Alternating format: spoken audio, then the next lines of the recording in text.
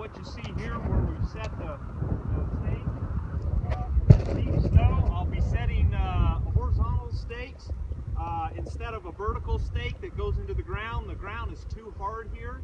Uh, we did have to shovel out some of the snow to get a level ground. There's about uh, probably a good three foot, uh, four foot of snow here, but uh, we cleared out enough to make it level.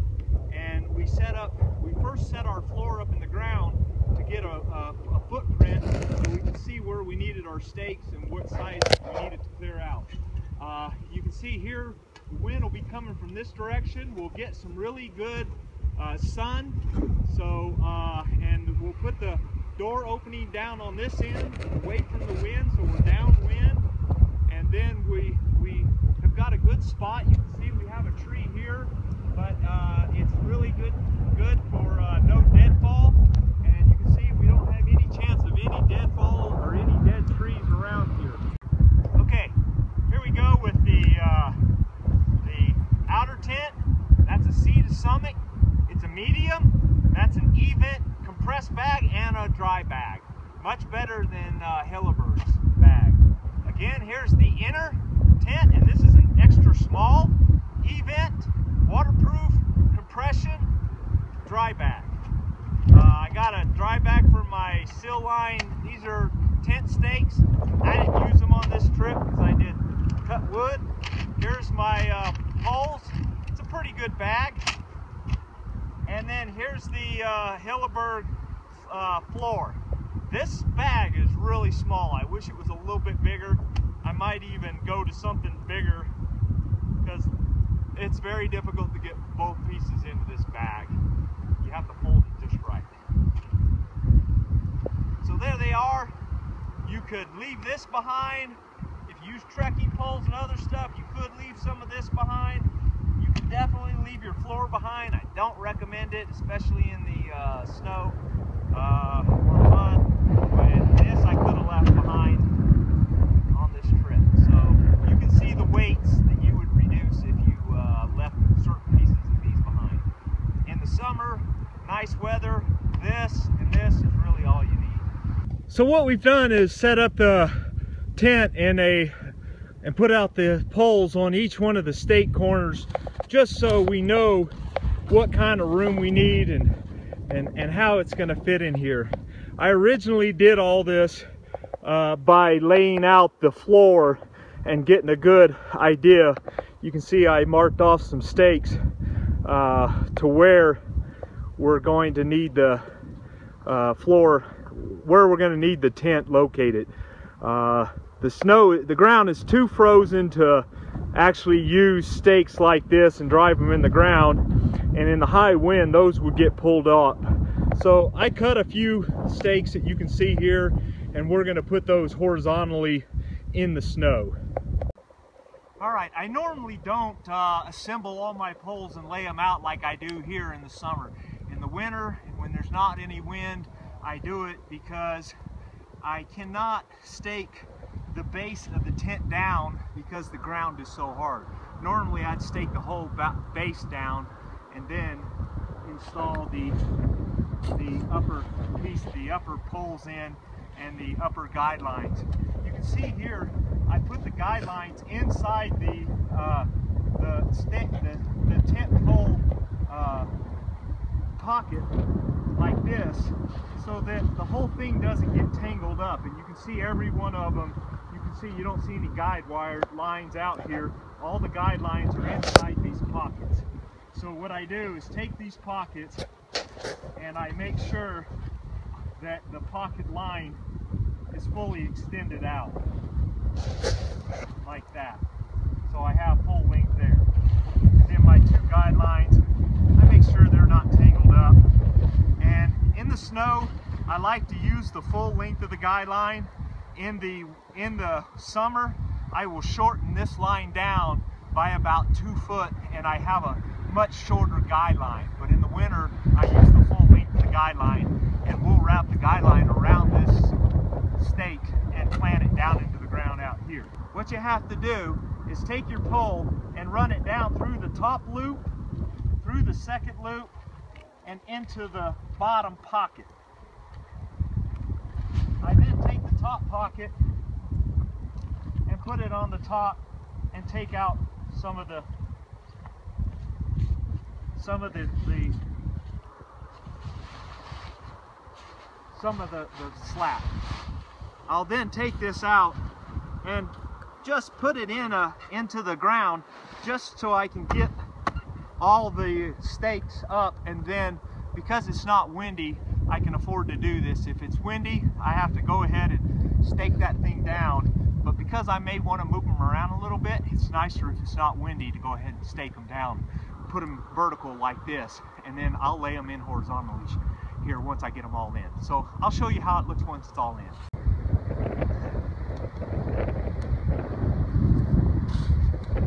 So, after getting the tent set up and all the guide lights in, we don't have any ground stakes at the bottom, but we don't need them in this windy condition, in this frozen ground condition. You can see here we've used a rock to hold off some of the, the uh, tent stakes. You can see here, these rocks are frozen in, they're not going anywhere. Poles fairly straight. And you can see we've got them fairly close to the so that if it gets windy in the middle of the night, we still have room to tighten down more. But I doubt we'll need more than that. You can see I've got the, the door closed when I do this setup. I usually close my door and open my vents. That way you don't get these two poles spread out too far apart and you can't zip your door. So always have your door shut when you start. Hit the center pole and give you another shot of. Okay, we'll uh, put the center post in. One thing I wanted to show you is that uh, you just connect these simple, very straightforward. There's a cord in them, keeps them all together. One thing that you have to make sure you do is always have this little pin in one of these holes. If you have one of these pins and it's sitting like that, this whole thing can come off, you'll lose it, and not only will you lose this, but you'll lose that little pin. So it's important to always make sure your pin is locked when you take down your tent and when you put it up but mainly when you take it down. Let's go inside and install it.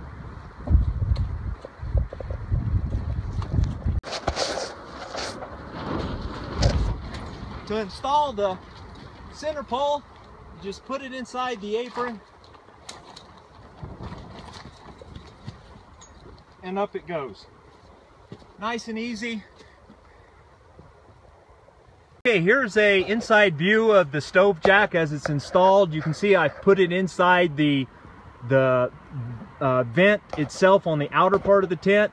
Uh, you can see I've put some uh, really good material here. This is outdoor lawn material uh, and it's rated for UV and uh, I put the sewn in the strap so we can tie back the the the vent if we still want to and it's all uh, the inside I did not sill seam but you can see uh, Tanya sewed this up really nice with her sewing machine. I end up doing a single stitch by hand and then she came back there and sewed it up with the machine and you can see it works really nice. And now you can still use it as a uh, outdoor vent in the summer. I put a little round uh, I put a little round Tupperware container in the hole and it fits really nice and tight and stops all the water from coming in. This way I did not have to use a second stove jack. We only have to have one stove jack. You'll see once I install the inner tent, we just roll down the vent and we don't have to have a stove jack inside the inner tent. This uh, reduces weight in the uh, tent itself.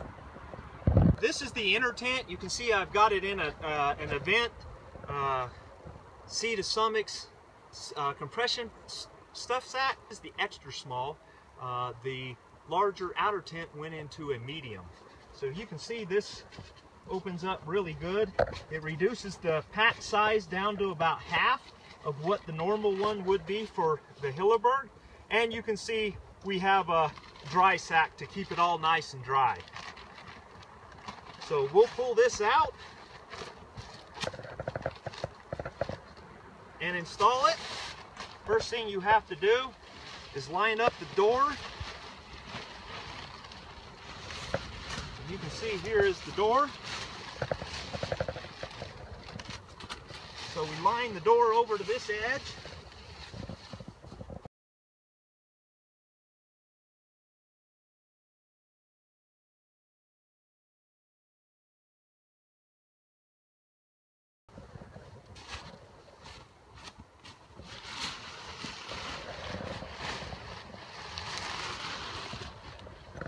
So you can see I've got my hand in the center pipe. I'll lift this up and get that into the center. I'll then take this up here. I want to wrap this up and get it a little tight. And then there's two primary hooks. You got to make sure that your door is facing the right direction. And then hook these like that on the ring that you see up here. There's two of them.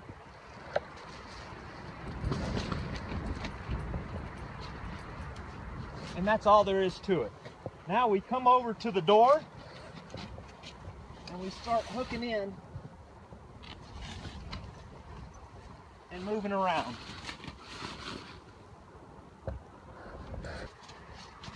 This gap makes a big difference in keeping in the heat.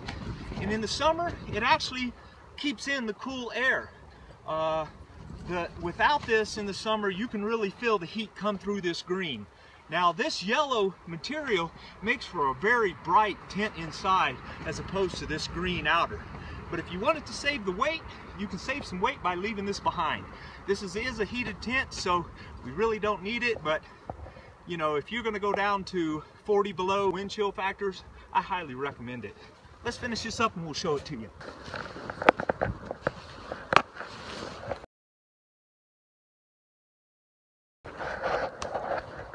So you can see we've installed the half of the floor. The nice thing about this tent is that you can install the floor after you have the tent up and, up and installed. So it allows you to actually clear out the snow in here if you had to. It allows you to clean the floor if you want it to. Pull the floor up and clean it. It's not the best for keeping insects out in the summer. It's not the best for keeping water from flowing up underneath it, but I like it. In addition, I have this quarter section of the tent. This section of the octagon will be pulled back and allowed to have the snow exposed where the where the uh, stove is going to go. That so it won't melt. It allows me to uh, uh, baton wood, chop wood, and whatnot in, inside the tent. And we'll pile up other stuff. It also allows you to knock off the snow off your boots when you come in and, and things like that so you don't get the all the snow all over the uh, cover. I start out by making sure that this Hilleberg emblem is up just like I have here. I'll raise this part of the, the pole and set it on there and then start at this corner.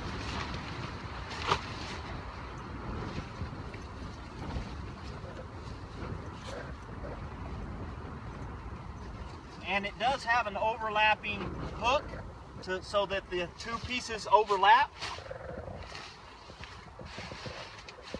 And then I make sure that the green part of the tent flap is pulled up underneath like this.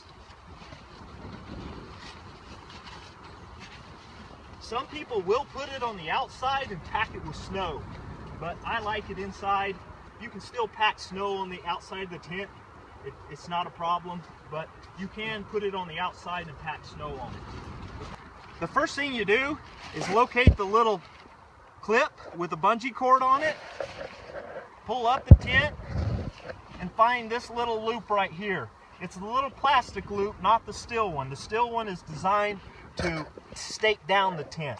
I put that in, lay over, and then I bring the elastic clip from the floor and attach it to the to the or, to the inner wall. Okay, I've uh, packed some snow on the tent, outside tent here. We were getting a quite a bit of wind coming in on this edge. So what I'm gonna do is pull the outer cover like I was talking about out. You can see we can pull it out here and uh,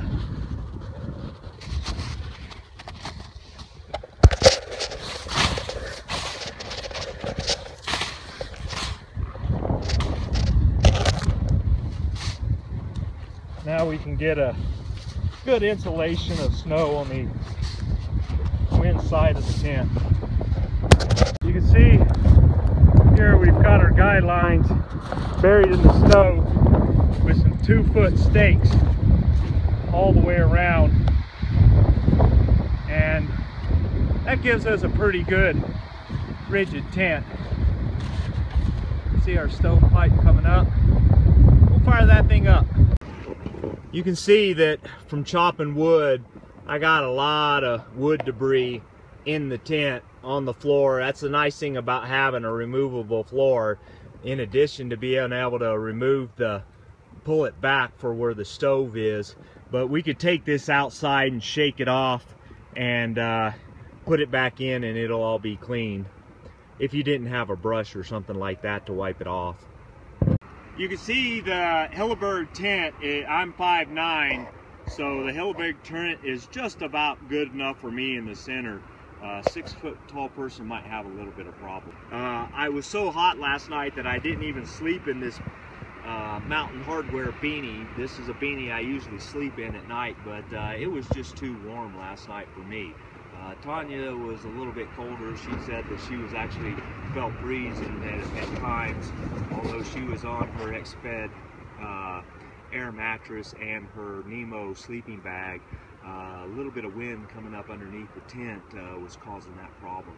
So I'll probably today go ahead and finish pulling out the outer flap on the uh, outer tent and put some snow back around the entire tent because the wind didn't come in where I packed it in last night. Okay, where I had packed the snow around the base of the fold out part of that exterior tent, you can see it's stuck up underneath that ice and that snow pretty good.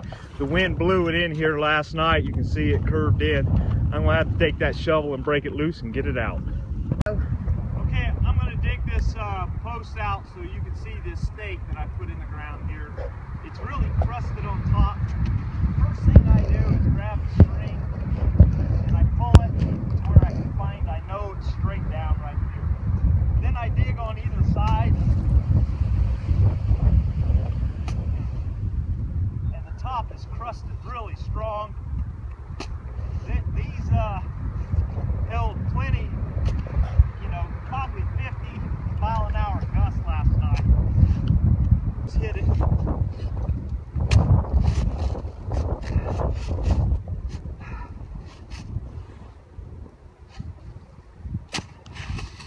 Try to get up underneath it. Break it loose. There we go. There it is. That would handle handle a that would handle an 80 mile an hour wind without a problem. The snow has built up. You cannot pull this edge of the tent out. But you know, quick break of the snow. That should do it. Look at that.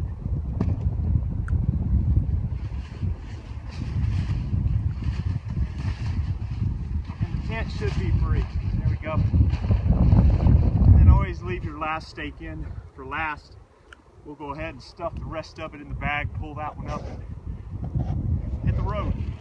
See our perimeter melted quite a bit of the snow where the tin is, where the stove was, is completely melted out. If you learned something from this video, like it, and please subscribe to my HangTuff Survival channel.